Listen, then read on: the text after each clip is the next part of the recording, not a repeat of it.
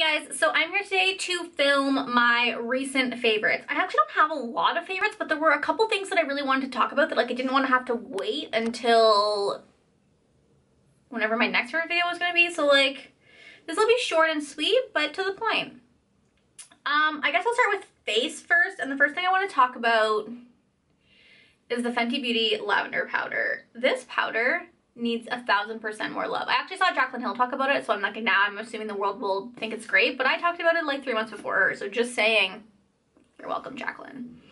Um, it is literally a lavender powder. I use it under my eyes today. I've been using it under my eyes since I bought it like two months ago, and I can't get enough of it. It smells really nice, first of all. Like, I don't know what the smell is, but I'm into it. But on top of that, it also is super brightening under the eyes. Like my eyes have never been brighter. I don't have dark circles anymore.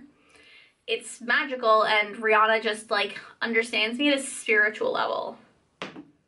Just saying.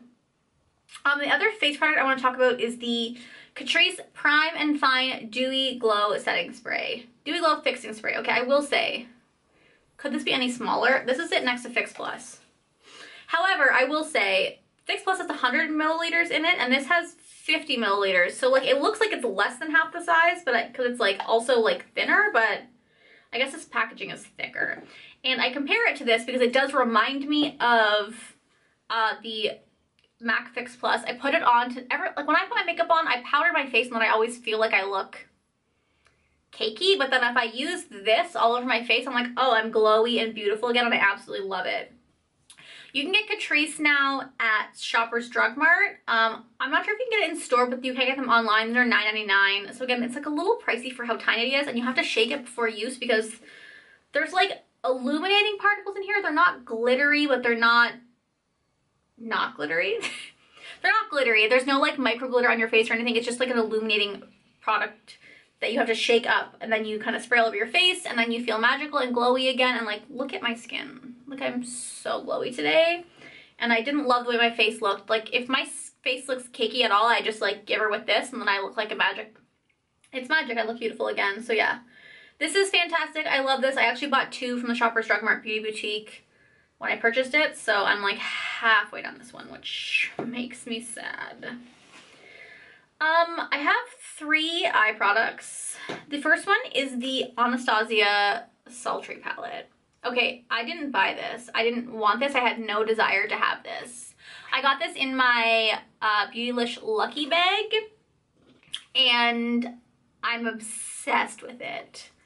I have been wearing this nonstop since I got it. I do think some of the shimmers are a little bit redundant. Here, let me, let's do a little swatcheroo first of some of the shades I think are redundant. So this is Cinder and this is Rose Quartz. They're obviously one is way more pink than the other, but they're both kind of similar.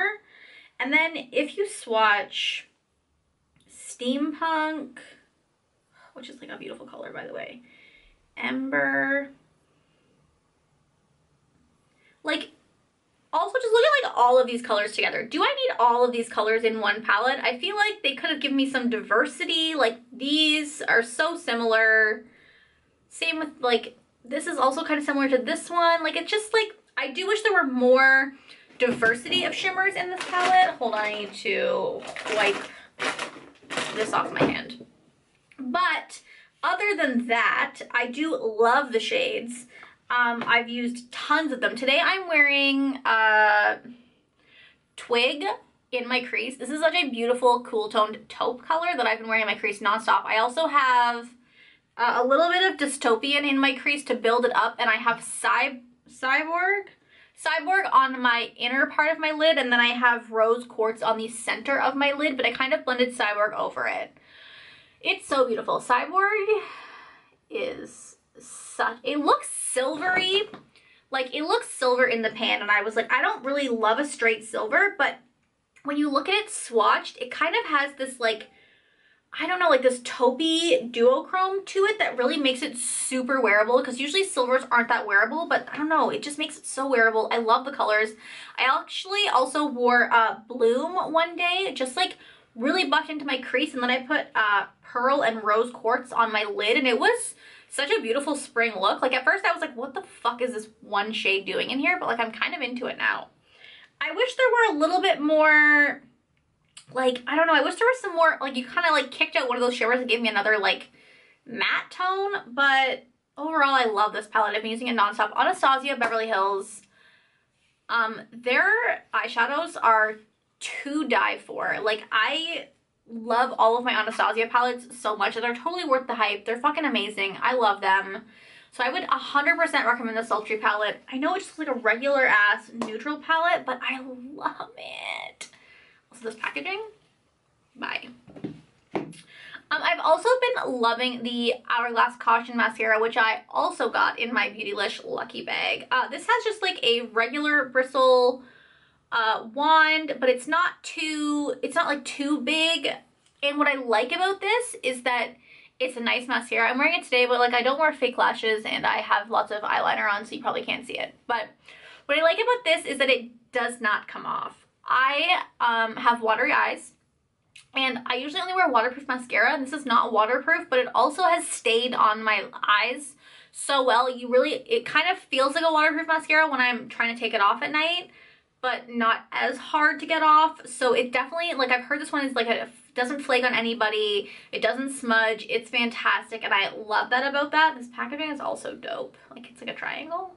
I'm into it. So yeah, I love this mascara. I think it's fantastic. You need it. The next thing I want to talk about is the Stila Glitter and Glow in the shade Wanderlust. Did I just buy this? None of your fucking business. How about that? What is this hair doing? Bye. Um, okay, I did just buy this, I'm not gonna lie to you. Honestly, when I looked at it in the tube, I was like, this is not a shade I would love, but Robbie De Christie wouldn't stop fucking talking about it, and so I bought it. This is what it looks like here in the swatch. And as you can see, it's kind of like a rose gold shade with like green glitter, green and pink glitter in it, and it's fucking beautiful. Um, I've been wearing it with like a red, kind of like a burgundy smoky eye, and then this on like the inner part, and it's just so beautiful. I fucking love these Stila glitter and glows. Like, I feel like they got a lot of hype when they first came out and then they just kind of like died down and like they deserve all the hype in the entire world. I'm obsessed with this color. It's so beautiful. This is actually the last makeup item I have to talk about, which is weird, but I do have two other things to talk about. The first thing I want to talk about is the, uh, is it Thierry Mugler? I don't know. Uh, Alien perfume. I got this for Christmas. I just sprayed it. My cats are in here. They're going to hate it. They hate when I spray things. It freaks them out. They're fucking weird. But um, I don't know how to describe scents, but I've been obsessed with this smell for a really long time. I smell it every time I go into the store, so I finally asked my mom for it for Christmas, and I don't know how to describe scents, but to me it smells like usually I like spicy scents. Let me let me look up how this is described. Hold on. Why would I describe it for you when I can make the internet do my job? Duh. Okay, so it says it's a warm floral. Um, and its keynotes are jasmine sambac, Kashmirian wood, and ambergris. Apparently it's a floral, woody, amber fragrance that borders the realms of spirituality and sensuality. That's a lot of work for a perfume to do. It exudes a positive energy charged with sensual and intriguing mystery. Okay, this is all just lies. But I love the packaging, first of all. This little alien is cute. I've also seen like a refill station for Thierry Mugler perfumes at Shoppers Drug Mart. So that makes me think that like you can just like go like fill it back up. I don't know if that would like be cheaper or what the deal is, but like cool for like the environment and stuff. And like also I just love this smell. When I went to go get my hair extensions actually redone last month, my hair extension girl was like, why do you smell so good? I was like, thank you so much, but it's my perfume. But yeah, I absolutely love this scent. I also really like their angel scent. But yeah, this is this is gold. This is a great perfume. I absolutely love it. Couldn't talk enough about it. If you like kind of, like my other favorite perfumes are uh, and Rolf Flower Bomb and the Elizabeth and James perfume. Bourbon is my favorite, but I also like the white one for spring and summer. So this is a good, like to me this feels more like a winter kind of fall scent because it's kind of got like that deeper undertones to it. But yeah, I I love this. I wouldn't think I liked floral scents, but like these don't like these don't like smell florally to me. They smell like more like more of like a spicy floral. I don't fucking know. I can't describe scents. And the last thing I want to talk to you guys about are my earrings. I'm to give you... So I ordered these earrings off of Etsy. Um, I got my ears pierced last year. So I got my ears pierced when I was nine, but I let them, but I am allergic to metal.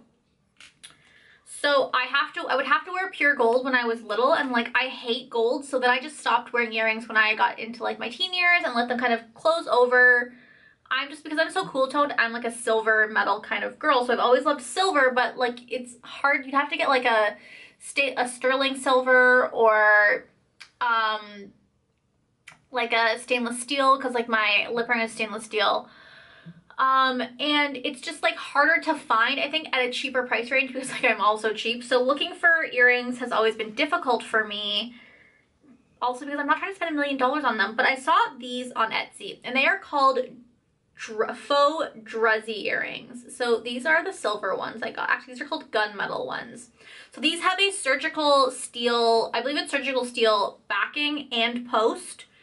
Um and i got them also in black. So I'm obsessed with these. What I like is I've had big earrings like this before, but the post has been like kind of at the top, so they hang down weird, whereas these ones don't hang down weird at all. Um, I'm not sure which size I got. I'll put the information here. I ordered them off of, hold on, let me pull her business card out of here. This store is called Studio Rogue Handcrafted. I believe they ship from Alberta. So if you're in Canada, you should definitely check them out. If you're not in Canada, just search like faux druzy earrings. I don't know what the fuck druzy earrings are, but like they have like, they look kind of like, I don't know if you, let me zoom you in. Hold on. So this is what they look like. As you can see, they're gorgeous, first of all. They're a little like covered in makeup. Sorry for that, but as you can see if I push it up, it's like got like different like layers in it. They're like different kind of stones. It's reflective. It's cute. I hope my ear is clean. So yeah, I picked these up. I picked uh, them up in two different colors because I think it was like 20% off if you bought two. No, it wasn't. I No, I had a coupon code for like five. I had some sort of coupon code. But either way, they cost me like $35 for two pairs of earrings plus shipping and handling, which isn't bad for especially for Etsy. So I'm obsessed with them. I love them. And normally when I buy like the earrings for sensitive ears, like from Claire's or Ardene or whatever cheap jewelry store there is, my ears start to get annoyed after a couple days, but I've had these in probably for like two weeks and my ears are totally fine. So like they will actually are surgical steel because I find that some companies will be like, yeah, they're totally for sensitive skin, but then they're just fucking shitty metals that'll give you an allergic reaction and then you have to take them out. So I love these earrings. I think they're great. I would definitely recommend the shop. I'll link it down below for you guys.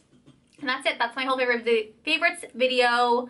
So thank you guys for watching. Let me know down below what your favorites are for this month. Also, uh, subscribe to my channel. I upload every Tuesday and Thursday, and I'm pretty sweet.